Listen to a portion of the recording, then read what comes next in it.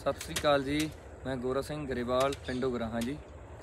ਤੇ ਕਿਸਾਨ ਵੀਰਾਂ ਦੇ ਮੈਨੂੰ ਫੋਨ ਆਉਂਦੇ ਨੇ ਵੀ ਜਦੋਂ ਆਪਾਂ ਕੋਈ ਵੀ ਫਸਲ ਤਿਆਰ ਕਰਨੀ ਹੈ, ਬੀਜਣੀ ਹੈ, ਤਾਂ ਥੱਲੇ ਕੀ ਪਾਈਏ?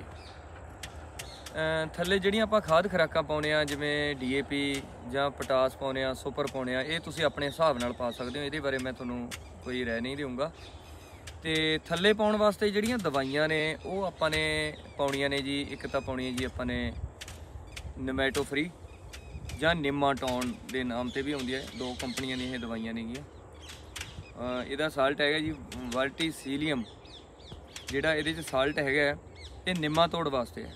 ਨਿਮਾਤੋੜ ਇੱਕ ਕੀੜਾ ਹੈਗਾ ਜਿਹੜਾ ਜੜ ਦੇ ਵਿੱਚ ਦੀ ਲੰਘ ਕੇ ਉਹਦੇ ਵਿੱਚ ਆਂਡੇ ਛੱਡ ਜਾਂਦਾ ਹੈ ਤੇ ਉਹਦੇ ਚ ਗੰਡਾ ਬਣਾ ਦਿੰਦਾ ਹੈ। ਤੇ ਬੂਟਾ ਚੱਲਦਾ ਨਹੀਂ ਉੱਥੇ ਹੀ ਰੁਕਿਆ ਰਹਿੰਦਾ ਹੈਗਾ ਤੇ ਨਾ ਉਹ ਸੁੱਕਦਾ ਹੈ ਤੇ ਨਾ ਹੀ ਉਹ ਗਰੋਥ ਕਰਦਾ ਤੇ ਇੱਕ ਆਪਾਂ ਨੇ ਥੱਲੇ ਦੀਆਂ ਜਿਹੜੀਆਂ ਫੰਗਸਾਂ ਨੇ 105 ਪ੍ਰਕਾਰ ਦੀਆਂ ਫੰਗਸਾਂ ਨੇਗੀਆਂ ਉਹਦੇ ਵਾਸਤੇ ਆਪਾਂ ਨੇ ਸੰਜੀਵਨੀ ਤੇ ਸਿਡੋਮਨਾਸ ਪਾਉਣਾ ਹੈ। ਟਰਕੋ ਟਰਮਾ ਜਿਹੜਾ ਸੰਜੀਵਨੀ ਦੇ ਵਿੱਚ ਸਾਲਟ ਹੁੰਦਾ ਹੈ। ਤੇ ਇਹ ਫੰਗੀ ਸਾਈਡ ਨੇ।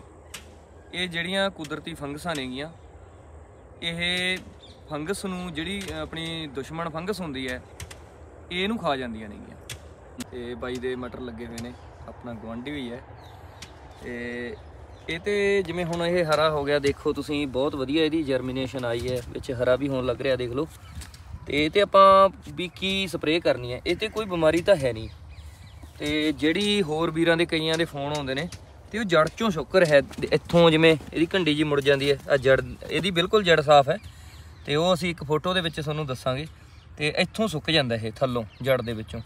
ਤੇ ਇਹ ਫੰਗਸ ਹੈ ਬਾਜੀ ਤੇ ਫੰਗਸ ਵਾਸਤੇ ਆਪਾਂ ਜਦੋਂ ਕੋਈ ਚੀਜ਼ ਹਰੀ ਹੋ ਜਾਂਦੀ ਹੈ ਨਾ, ਜਿਵੇਂ ਆ ਹਰਾ ਹੋ ਰਿਹਾ ਇਹ ਤੇ ਆਪਾਂ ਫੰਗੀਸਾਈਡ 1263 ਇਹ ਤੇ ਸਪਰੇਅ ਕਰਨੀ ਹੈ ਤੇ 1263 ਜਾਂ ਬਵੈਸਟਨ, ਇਹਨਾਂ ਦੋਨਾਂ ਵਿੱਚੋਂ ਕੋਈ ਵੀ ਇੱਕ ਤੇ ਇੱਕ ਇਹਦੇ ਨਾਲ ਅਮੀਡਾ ਵੀ ਪਾ ਲਿਓ, ਕਿਉਂਕਿ ਕਾਲਾ ਕਾਲਾ ਜਾਂ ਮੱਛਰ ਫਿਰਦਾ ਉਹ ਮਰ ਜੂਗਾ ਤੇਲਾ ਕੋਈ ਹੈ ਨਹੀਂਗਾ ਇਹਨੂੰ, ਤੇ ਬਹੁਤ ਵੀਰਾਂ ਦੇ ਮੇਰੇ ਕੋਲ ਫੋਨ ਵੀ ਆਏ ਨੇ ਤੇ ਵੀਡੀਓ ਵੀ ਆਈਆਂ ਨੇ, ਤੇ ਪ੍ਰੋਬਲਮ ਚੱਲ ਰਹੀ ਹੈ ਕਿਉਂਕਿ ਇਹਦੇ ਚ ਸੈੱਲ ਇਹਨਾਂ ਨੇ ਬਹੁਤ ਘੱਟ ਚਾੜੀ ਹੈ ਤਾਂ ਕਰਕੇ ਇਹਦੇ ਚ ਕੋਈ ਪ੍ਰੋਬਲਮ ਨਹੀਂ ਹੈਗੀ।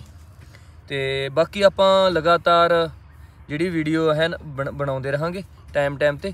ਕੋਈ ਬਿਮਾਰੀ ਆਉਂਦੀ ਹੈ, ਕੋਈ ਚਿੱਟਾ ਤੇਲਾ ਆਉਂਦਾ ਹੈ ਜਾਂ ਕੋਈ ਫੰਗਸ ਆਉਂਦੀ ਹੈ ਕਿਸ ਤਰ੍ਹਾਂ ਦੀ, ਗਾਹਾਂ ਤੱਕ ਆਪਾਂ ਸਾਰੀਆਂ ਜਿਹੜੀਆਂ ਸਬਜ਼ੀਆਂ ਨੇ ਉਹ ਤੇ ਆਪਾਂ ਸ਼ੇਅਰ ਕਰਦੇ ਰਹਾਂਗੇ। ਧੰਨਵਾਦ ਜੀ।